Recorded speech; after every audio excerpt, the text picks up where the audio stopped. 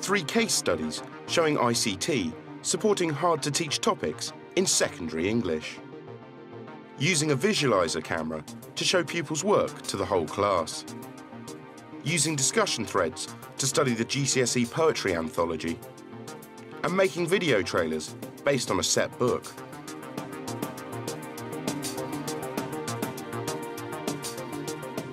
We're going to think about that list we had, aren't we?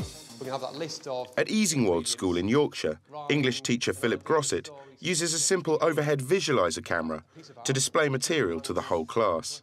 This is a, a visualiser and it, it's, put simply, it's a camera on a stick. Um, it, it plugs into a, a projector. Uh, it can plug into a laptop as well, but that's not the way I've used it in this setup. It allows me to, to project anything, any object, an exercise book, an artifact, an object. So I can grab an exercise book and I can present it, we can talk about it, we can analyse it together. Um, I was hit by an icy heat, so I think I'll have that. What we're doing today is, is uh, we're trying to turn a piece of prose into a piece of poetry. The cold clawed at my face like a provoked tiger because it kind of fits in with the rest to die bit. Brilliant, okay. Um, and we can discuss some of the word choices. I can get my pen out, I can start highlighting, uh, questioning things, suggesting alternatives, and together we can, we can make changes to a text uh, in a way which is quick, doesn't have to be planned, it's spontaneous, and which I think helps to engage children in the, in the drafting process. And you could put minus 30, comma, an icy heat. So you like say... Any text can become an interactive text. I think that's the key benefit, certainly in English, uh, to the to the visualizer. Have you got something lovely for us? Here we go. Because um, I chose all of them because they all sort of tie in together with all snow and um, the fact that the person is sort of on their own in the middle of this like snowy sort of place. Brilliant. You don't tell us that you opened up the tent. You don't tell us you stepped outside. You don't tell us you looked around. You've just kept the bits which are to do with mood and feelings. The particular hard to teach bit um, is, is that process of drafting. Uh, because uh, a, a typical problem that students have is, is looking at a finished piece and thinking, well, they can't get there. They can't get all the way to that wonderful finished piece. Um, or they make a first attempt at writing and, and they get stuck. They think that's it. They can't think how to change it. What have you got so far? Are you worried about it making sense? Yeah.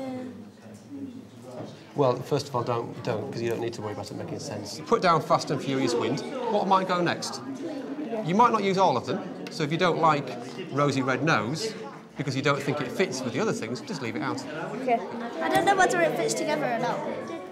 Okay. Uh, is it easier if you just pick three or four lines and don't worry about the rest of them? Footprints made a slight imprint in the smooth snow.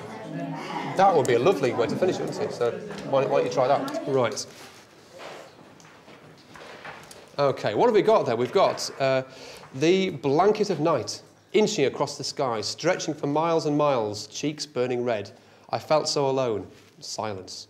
Super, Katie. Really well done. I felt that putting the silence like that was going to be quite was quite a good idea because it, it's the only one that's bold, so it's like alone. Mm-hmm. And when it's silent, most of the time you're alone. Absolutely. So we've got putting the word silence on its own. What I might do, actually, Katie, if it's all right, can I make a few changes? Yeah. We might mess around with punctuation. I felt so alone, silence. Now, if we want to really... The main role of the visualiser in, in, this lesson is to, to open up that drafting process. Uh, so it makes that whole drafting process much more interactive. It opens up that thought process um, and it gives them ideas for how they can then go and redraft and change things. And it gets over that barrier that once something's committed to paper, it's permanent. It isn't. It should be a process of change, and I think the visualiser helps to encourage that. What else could we do? Anyone, anyone else has got a suggestion? What could we do with the layout of the poem, maybe? might have put, you know, where the Towering Mountains bit, mm -hmm. um, she's got quite a lot of long lines in it, like next to each other, mm -hmm. and you could maybe even it out by putting like Towering Mountains, mountains, then you could on the next line put in front of me. That's a nice idea. So we, we might we might have some other shorter sentences. Um, we might put some space you know, before and after this, maybe, if we're laying it out. It's not a big thing, but we might um, put some space in. Yeah, we might have some other shorter sentences beforehand. Um, so, yeah, really good idea. Excellent. Quite liked the bit at the start because it's uh, where it says I stepped up the tre- um, stepped out of the trench in which I slept. I inhaled a cold musty air. It has quite a good rhythm to it, and then I decided to add my breath simmered up the ice-infected slope because it sets this, the feeling of travel and what the um, landscape's like. Because if your breath's simmering in front, it's going to be cold. And after wilderness, it's like got a dot, dot, dot. Then it's as I continued on my journey to like the finishing touch in a way. Okay, so we've got a bit of suspense there, haven't we? Treacherous. No signs of being able to stop. Fading away until nothing is left. An unfamiliar stench. Stop. Tears rolling down my cheek. Pain. Right, it's very uh, mysterious and enigmatic. Uh, what, tell us about some of the choices you've made, Emma. Well, I put the stop because she was like the poem was like going on about how bad it is. So like it's just like stop, like stop everything that it's saying. Like Okay. if that makes sense. Again, do you mind if I scribble, Emma? No, that's 'Cause I like scribbling. Treacherous, no signs of being able to sleep. Uh, stop. Fading away until nothing is left. That line itself is brilliant. Um, what about this line? What about this one line, one word line, stop? We could move that to the end, couldn't we? So maybe that's something to think about changing, cutting, changing, adding something to. Um, so there's things we can do to carry on tweaking this. Um, I think it's good because, like, if they've emphasised a word, you can see how they've done it, and you can see the the commas and punctuation that, you, that they've used, rather than just the way that they say it. You can read it as well. I think students do come to enjoy having their work shared and critiquing each other's work, but it, it is a skill that needs to be developed. Uh, and ideally, the, the visualiser becomes embedded in day-to-day teaching, so they get used to it, uh, they know how it works, and they get used to the idea that their work at any point could be displayed and could be shared with the whole group. Uh, and so it's a process of coaching, I think. Uh, but you know, the beauty of the visualiser is, from a technical point of view, it's not very difficult to use, and it's also the kind of technology that can be used without completely replanning what you already do. Do you want to come out and read it? Stick it under the camera so we can see it. Last time here, so I can see it. Yeah, wherever you want to, wherever you can see it, Ebony. Yeah? Silence. No one in sight for miles. Freezing snow burned. Coldness shooting up my spine like a thousand crocodile jaws.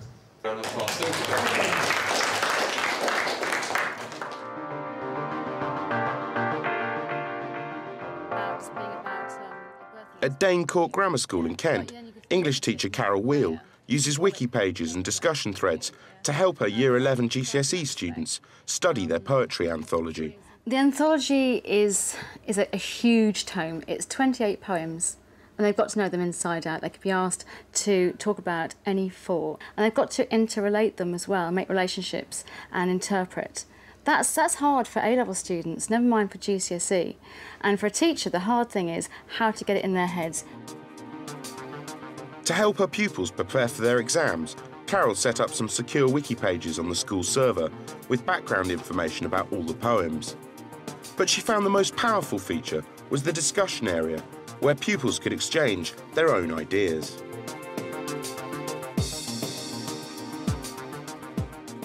They call these whole class online discussions Wiki Wars.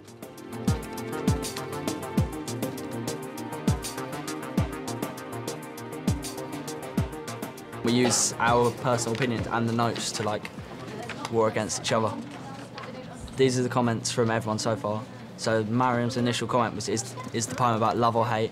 And then Bailey's commented saying, "I believe the poem is about lack of love for another. The babysitter does not feel anything for the child, not even simple agape love. What do you think?" And then Mariam's gone on, and then Mariam, and then now everyone's just getting involved in this. We'll chip into this now.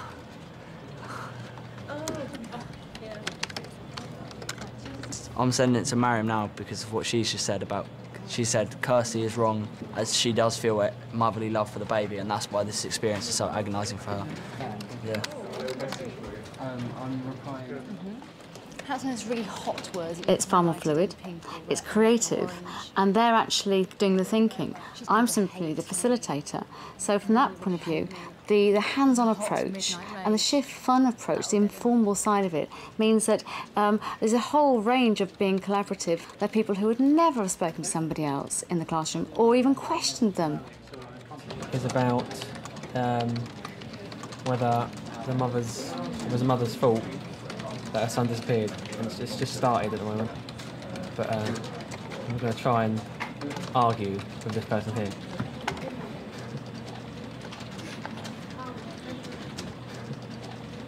It's about a mother losing her son, and the question that we're discussing discussing is if the mother, if the son of the mother is actually as good as she makes him out to be, because she actually glorifies him in this poem, but we do, but he left her. So, could he have perhaps done something bad to make him leave? Some students are wiki-warring about several poems at the same time. Well, everyone's just ganging up on us because um, in babysitting, these three here are ganging up on us, and on um, digging, them two over there just ganging on us. But I think we'll hold our own against them. In this poem, it's about how a lady is with a, like babysitting a baby, and um, she doesn't love the baby. But they're saying she does have feelings for the baby. But I believe that she doesn't have feelings for the baby. She cares more about how she is doing than the baby. But I was wiki warring with Alex, and I noticed that he, he's pretty much accepted that I've beaten him in the wiki war because he's contradicted his earlier statement, saying that um, Heaney's pen is better than uh, his father's and grandfather's shovels. But then he's later said that they are equal, which I which I stated to him. So he's accepted that he's lost really. Tom is studying, he's going to the uh, digging against Alex, and uh, I'm going for the field mouse with Bailey. And we've been monitoring that while we've been attacking other people's poems. So. Alex just responded, so uh, let's go see. and check that. Is that, is that uh, digging? The topics highlighted in purple are those under discussion, and um, there's been 60 views on the page that me and Alex are discussing, 13 replies, and Alex has just replied just now. I've not lost this wiki war. I believe you have not seriously read the poem and what it represents, as it is all about his ad- admiration for for his father and grandfather when they when he was young, and how now he's doing greater things than them. He's contradicted his previous statement, and I'm just gonna I'm gonna talk about how. Yes, I agree with Alex about the memories of how he admires his father and grandfather when they were young, but I think there's an equal um, equal mentions of um, Heaney's pen and literature and his father and grandfather's shovel. But you've got one little thing you've got to look at, the very second line, the squat pen rests snug as a gun. That simile, why do you think he's using the word gun, like a cannon? What's he doing that the shovel didn't do? Attacking What? the uh, the English and like I suppose Why? he's bringing I suppose he's bringing up the imagery of the IRA. So do you think Alex could be correct? I know, I know you'd hate to admit I it. don't, I don't like to admit it. I'm gonna, I'm gonna try and get out of it somehow. I, I simply pointed out a simple simile he might want to look at that might prove you were right. I'm winning this wiki war, so that's all that matters. You're going to win? Yeah. Come on, Tom. Alex, I'm with you. This one is about politics, isn't it? Is it? Yeah. Yeah, about the, um, Easter Irish 1998, the Irish thing. How about you put in post a, post a message or a, a subject? Post a message. Is this poem obviously political? And then we'll see if anybody else cups up it. And over the other side of the room, this question soon gets a response. I've just opened up a, another argument, so we're doing three at the moment, uh, and I've opened up the argument against those doing difficult birth. Um, there's one of um, a religious like um, interpretation of the resurrection of Jesus, um, a political um, interpretation of the Northern Ireland peace process, and one simply just of a nature interpretation of how a sheep is giving birth to a lamb. Three replies, easy. I'm not worried about spelling and punctuation, this thing. I believe that this poem has three layers about the Easter and, and the rebirth of Christ, the peace treaty being signed at Belfast, and the birthing of the Lamb. But why not just talk together as a class? I think um, if you, if you actually discuss it on the on the wiki page, it helps to uh, everyone later after the wiki war is finished can read through the notes, pick up different people's opinions, and this helps them revise for exams. Um, when we did Catrin, me and Aston before, um, we got set you, um, the actual poem of Catrin, and then we did a wiki war on it. But um, I didn't understand it until after we had a wiki war on it, so that's quite useful because I didn't understand it at all. You get to weigh up other people's opinions and Yeah. you kind of go into the poem into more depth if there's more of you. At the end of the day, Carol looks through one of the wiki threads. This one's got comments made the other day. 211, uh, 212, 213, 213. Several people around the room are all discussing this one issue simultaneously. You couldn't get that in a class because in a classroom only one person can put their hand up at a time and you can only just do speaking and listening that way. This way, everyone's got a voice and you can see there's 90 responses on this one thing alone and it's uh, you can see a lot of flow of activity at 234 246 etc and then you find that they've gone out of my lesson because that ends at 235 and they're, they're still at it somewhere else. And they're carrying on. And they've got loads of quotations in here. He says right lydia let's settle this. And he goes on quotation quotation quotation all the way through. And he says at the end yeah just a few. Yeah you got owned. And that is going on 5.41 the same day. So obviously it's carrying on way beyond the classroom. And that wasn't set homework. That was simply because they had unfinished business. So, what are the benefits of using this technology? The benefit was that, uh, is that afterwards they can go home and in a few weeks' time when they've got their mock, they can then revise it at leisure and they can see how the thought processes actually worked. They can then see the connections between other poems, connections they wouldn't have made. And they like listening in to visual conversations. It was visual because they remember seeing it on the screen. And that had massive benefits because, on average, the boys went from a C to a grade A. In two whole grades. They're managing to, to create something. And it's that creative process that's the difference. It's not simply evaluating or regurgitating knowledge. It's about you're creating. And that's the, that's the, the difference between teaching of yesteryear and teaching of the millennium, the new millennium, because it's now making connections. Web 2 enables that. You couldn't do it any other way.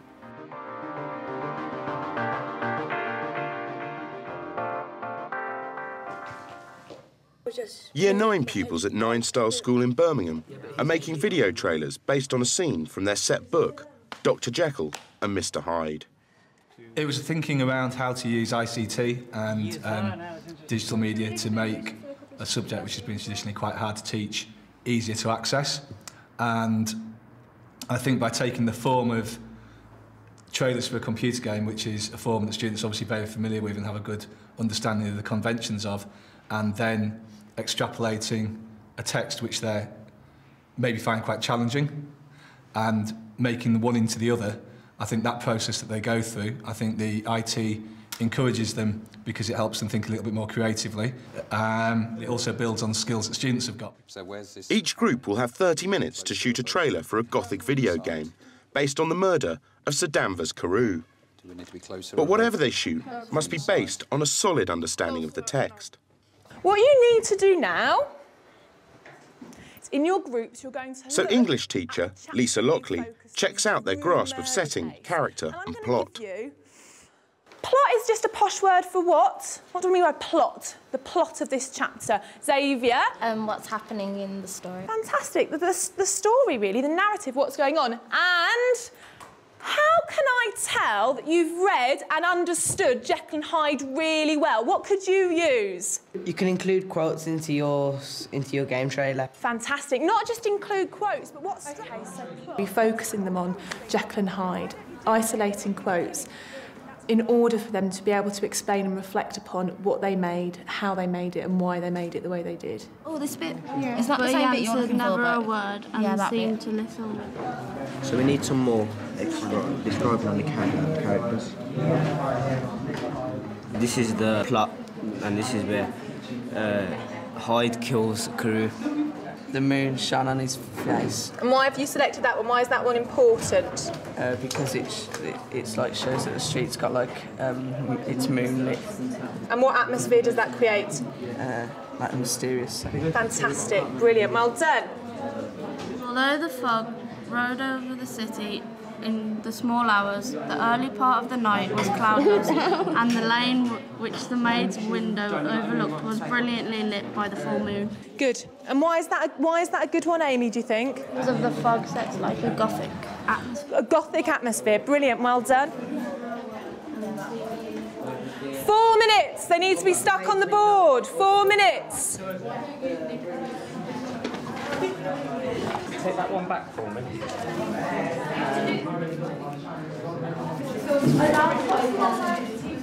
don't have these. Next, they prepare storyboards to show exactly what shots they want to take and what action each shot will contain.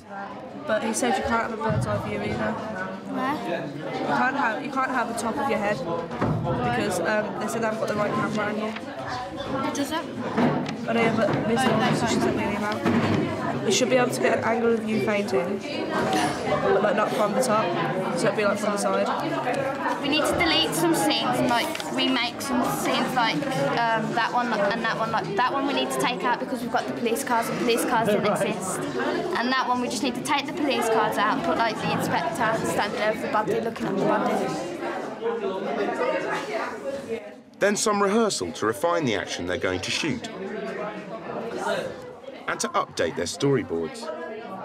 And then I don't hear you. Yeah. I carry on looking for him, but he's already left. Yeah. And then that should be the end, and then we go back out of the game. And then I say- carry on I say, Like, wow, If I go we need to- inspector, inspector, um, I know where the body went.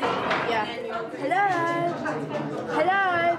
And that's what I'm And then we'll have text, we'll do that in editing, and then somewhere between there we'll have the beat scene, and then we'll have that part, and then you'll be walking away with blood coming out of my head, some more blood, and I'll have Jekyll and Hyde, and then you walk over. Okay, you think you can get that right? Yeah. Oh, sorry, sir.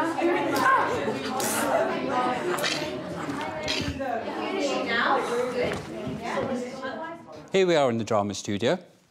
What we've done, we've set up a green screen so the students can film against it.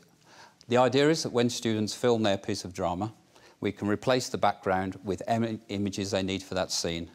In this case, it's going to be street scenes of London, they're going to be inside houses, um, but it could be absolutely anything. Okay, that's what you see, that's what Yeah. the lens will see. Yep. You need to make sure all the action takes place within the boundaries of the green. Within the green. Okay, so what's the first shot? In their allotted time slot, the pupils explain to the IT staff what they want to shoot. Okay. No, this one, this one here, that's meant to be blood. So where's this camera? Do we need to be closer or above? Closer From the side? Closer, no, far closer, and then the other one's closer. The background scenery will be added later in the editing to replace the area of green. Action. We could have him just go like that, then that would be it. Okay. There's a wall, and we're off screen, there's our shadows. I'm lying on the floor, and he's just gone like that to finish me off. Oh yeah. We're doing that bit now. Zoom into your eyes, that's when you're like at your most deadliest form. Do you get what I mean? Should I keep the mask on? Yeah, but make sure your eyes are showing. The IT staff then help the pupils edit what they've shot. Okay, what we're doing is we're capturing the footage we've just recorded. You click start import and it does it for you. But it captures at real time, so the time it took to record will be the same time it takes to capture to the computer. Do you want this part where he's walking? Yeah. Yeah, yeah I get the end part. I think. Uh, I'll get rid of all this part. here. yeah, I. Yeah. And then, so there, yeah? Yep. Okay. So we'll get rid of this part, yeah? Up to... Two. No, no, I think we did two oh, of them. That, that was the one. That was This is the the one. one you like. Yeah. So I'm just going to stick all of this in a timeline now. Two, three, four, five, six, seven clips. Here are the pictures we currently have. Is that one okay? Uh, This is where the green backcloth is replaced by the background of their choice, such as the Victorian street where the attack took place, That's cool. That was his language. or the window from which the maid saw the whole thing. Oh yeah. A murderer is among us. A bad deed has been done. Jekyll and Hyde, the video game, coming soon. A murderer is among us. A murderer is among us. A bad deed has been done. Bad deed has been done. That's cool. Jekyll and Hyde, the video game, coming soon. Coming soon. That's good.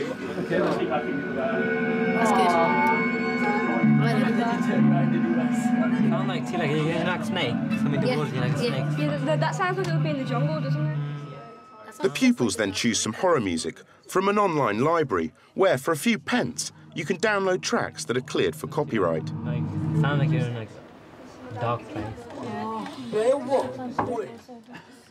A few final bloody touches. And some suitably horrific lettering. The process looks very time consuming, but I think the method by which we get to the final product is very, very effective.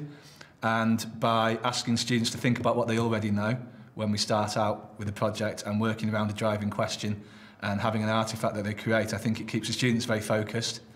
And I also think that it makes them responsible for their own learning and empowers them.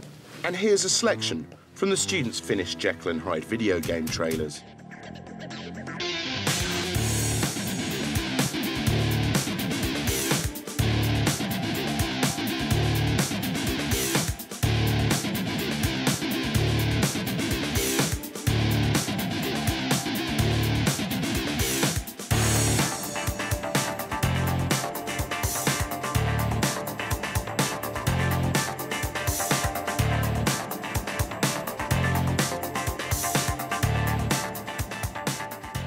They can't do it without making judgments about the language in the text, about the, you know, the, the narrative in the text, and without deciding what's important and what the audience really need to see in order to create meaning.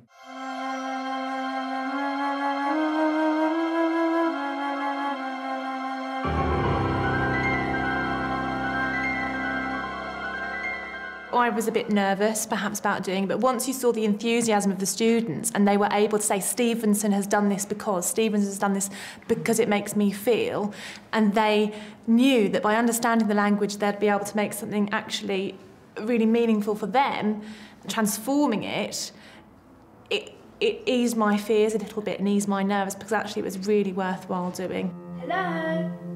Hello.